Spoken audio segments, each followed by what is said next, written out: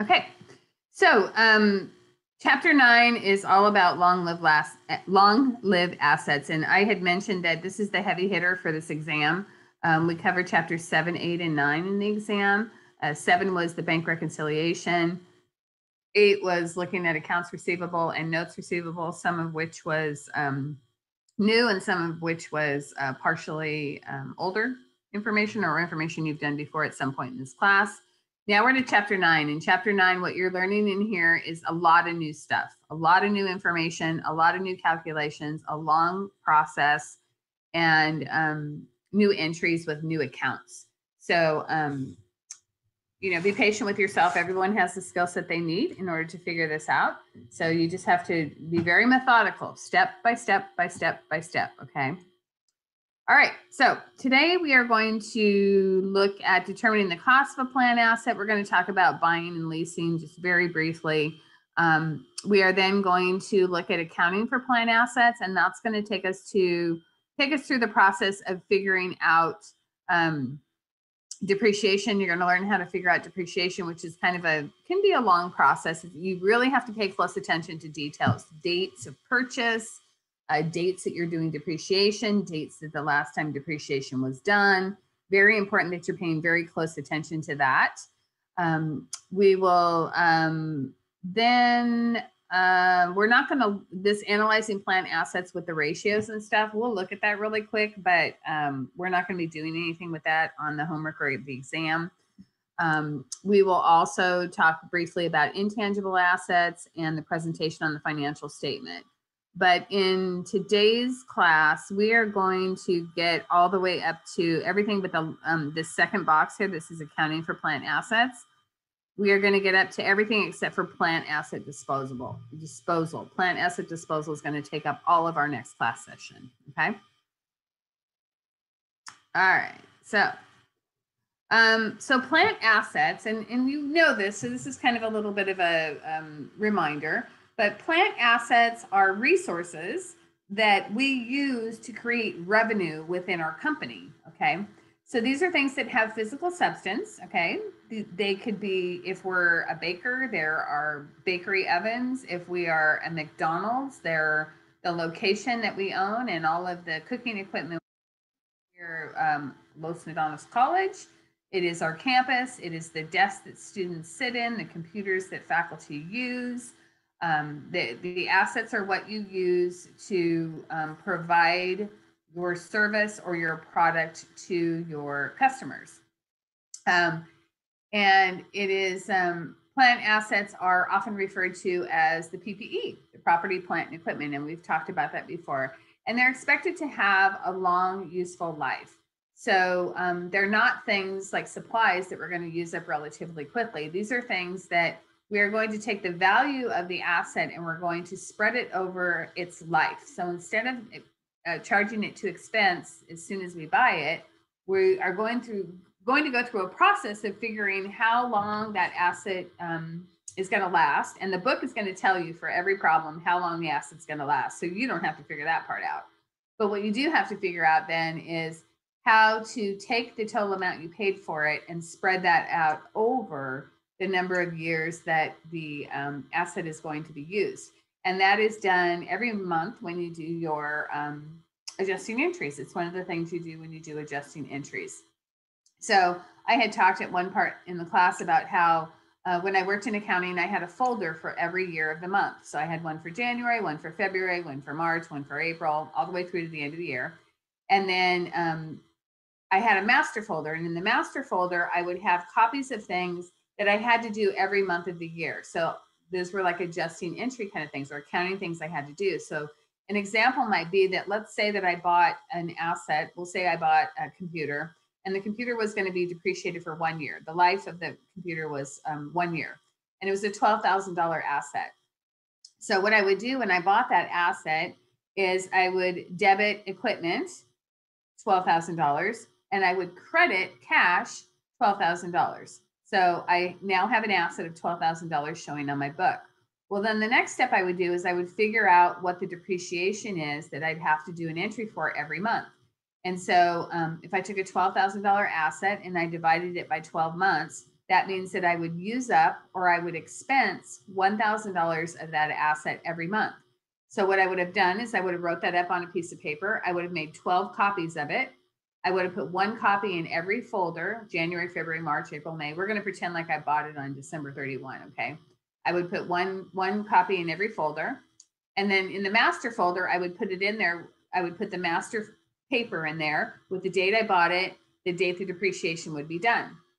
So every month I would go to that folder at the end of the month after I did all my entries. I did my trial balance. I would then go to do my adjusting entries. I would open up that folder and in that folder, I would have the source documents that would tell me the adjusting entries I'd have to make. So I would see that adjusting entry for that asset and I would go, oh, okay. So um, I have to do an entry to depreciate this asset $1,000. So what I would do for my depreciation entry is I would debit depreciation expense and I would credit accumulated depreciation equipment. So I would do that every time for, for the life of that asset. So I would get to 31 and at December 31, if I the equipment account, it would still show the $12,000 I paid for it. But right below it, you would see less accumulated depreciation. And on December 31, when I did my financial statements, it would show the accumulated depreciation was $12,000. So it would be a $12,000 asset minus $12,000 of accumulated depreciation. So that would mean it had zero book value. It had zero book value left for us. So that's that's how those two kind of relate together. Then what would happen is in January when I went to set my files up for the next year, I would open up the folder and I would go, oh, okay, here's this um, here's this asset, this computer we bought. We were only depreciating it for one year. The last time I was supposed to depreciate it was on December 31. So I'm done with that asset. I could throw that master item away. But let's say that I was depreciating it over five years. Well, then I would make copies of that again and put it in the folders for the next year. And I would do that for the next five years until the asset was fully depreciated. Now, there's a lot of different systems people use to track um, when to do their entries and stuff. Uh, we did it with the actual paper copies because it made it easier for auditors to have an actual adjustment file where they could look at the source documents. And it might even be a copy of the invoice we used to, to purchase the asset and the calculations that showed the life of the asset and then the calculations that showed how much depreciation to do. Okay. So depreciation is normally done every month, but um, sometimes in the problems that you're seeing, it might be done monthly, it might be done quarterly, and it might be done annually. So you have to watch the dates really close as far as what the problem is asking you. Okay. All right. So if we look at companies, uh, different companies have different levels of assets, uh, plant assets in order to do their business, right? So if you think about Microsoft, well, Microsoft sells software, and software is not um, a tangible product, right? It, is a program that's created. So they have a very um, small amount of assets. But if you look at something like JetBlue Airways, well, how do they provide their service? Well, they're an airline company so they have to have airplanes in order to provide their service. So 69% of the company's um, um, assets are plant assets. So that's that's a big big percentage for them. So um, when we look at the cost, um, you're not going to have to worry about this as far as you know the the cost. Well, the cost you will you will need to know part of this actually. Um, how to figure out the cost of an asset. A cost is uh, the cash you paid for it or the equivalent cash that you paid for it, and all of the items that are included in the cost of the asset. So these would be things like taxes and broker's fees and things like that. So part of this you're going to learn is how to figure out the cost of an asset. And we're going to go over and look at that. Um, you don't have to worry about the cash equivalent price piece. That's that's not something we're going to be working with at all in here. Okay. So what you're going to be learning is how to figure out the cost of an asset. So we're going to go down here. Um, okay, revenue and capital expenditures. So revenue expenditures are the cost that we get when we acquire the asset. Okay, and that's something that we might be expensing immediately. Um, and then capital expenditures are costs that are incurred um, to get the plant asset that go into the plant asset account. You're not going to have any problems that actually refer to those terms. So you're not going to have to worry about those. They're not going to be like tested on the exam or anything like that. That's just kind of the formal definition um, of those two. Um, Okay, so let's go to the next slide. All right, now, um, this is this stuff I'm talking about right now is not related to that map that I showed you. That is figuring out depreciation. Right now, we're just getting to figuring out the cost. Okay, and you will have a problem on the exam where you have to figure out the cost of an asset, and it's a problem where you either get the cost right or you get the cost wrong. There's no partial credit if you have like one item missing. I mean, you either have to get it wrong or get it right. Okay, so um, the cost of land. So it could be land, it could be equipment, it could be buildings as far as what you're what you're figuring out the cost for, okay? So the cost of land includes all necessary costs in order to make the land ready for its intended use, um, including what it costs to purchase that land, okay? So, and this is all debited to the land account. So the first thing is the cost of um, the land. So the cash purchase price that you paid for it is included. Also included in that are all closing costs, such as any title fees or attorney's fees. Also included in that are any real estate broker commissions. And then if the lien has any accrued property taxes or other liens, that the purchaser is assuming. And I don't think you're going to get any problems that have any liens or anything like that to deal with, but that is a part of the purchase price. Okay. So it, the purchase price of land includes the cash you paid for it, any closing costs, including title fees and attorney fees, any real estate broker commission, any property taxes. Okay. All right, so let's go to the next slide. So here's going to be an example. Um, and I believe this is in our book. Uh, and I'm telling you this because I think um, once I change the slide, you're not going to see it and then it's going to go away. So I'll tell you what page. Um, I think it's in our book. Uh, Maybe it's, uh, see, land illustration. Should have looked at this ahead of time, huh?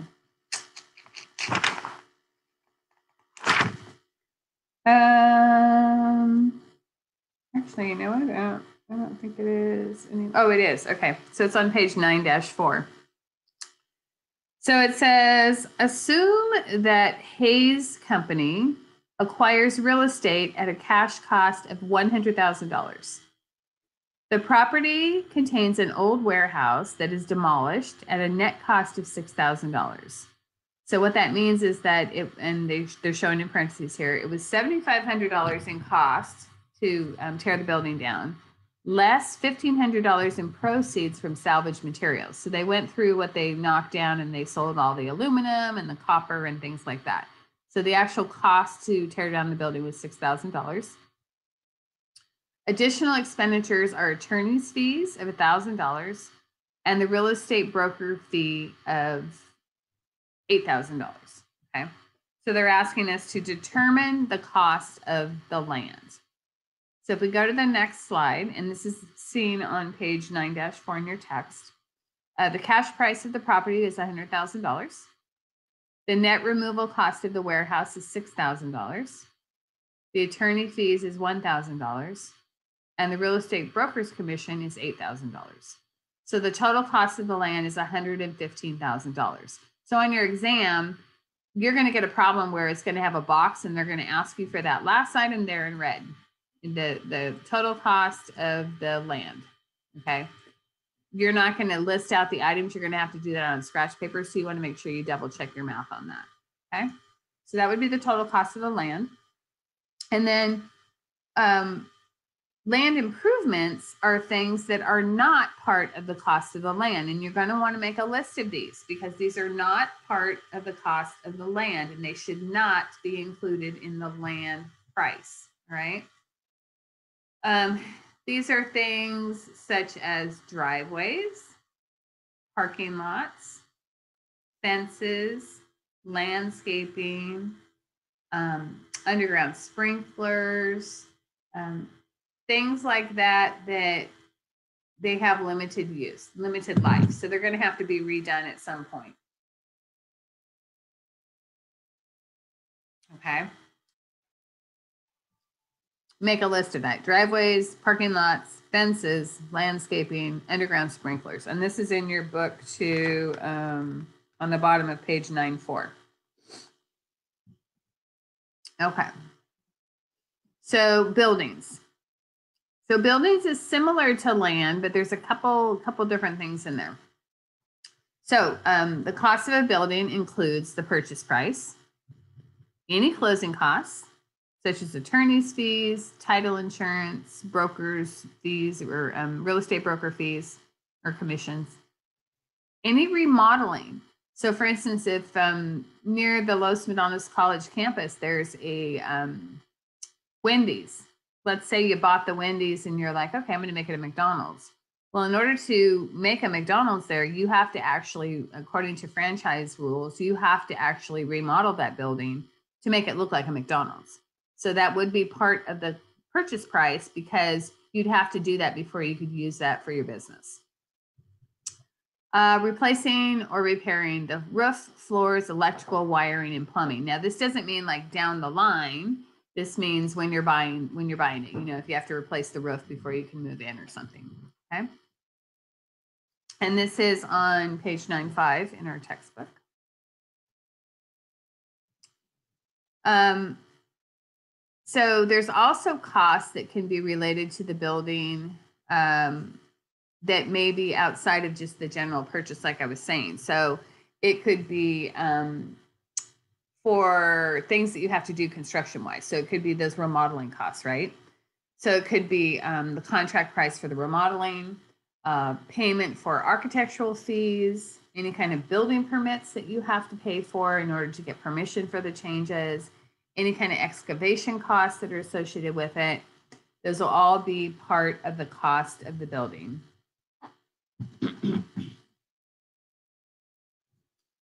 um, equipment. Now, equipment, very similar, a uh, little bit of differences though in some places. So um, it is the cash purchase price that you'll pay for the equipment. It includes the sales tax. It includes any freight charges to get the equipment to you. And for some things, that could be very, very expensive. If you're buying like a full assembly line equipment, that could be very expensive. Um, insurance during transit that's paid by the purchaser. So if you are shipping something cross country or from another part of the world, you're often going to pay insurance on that.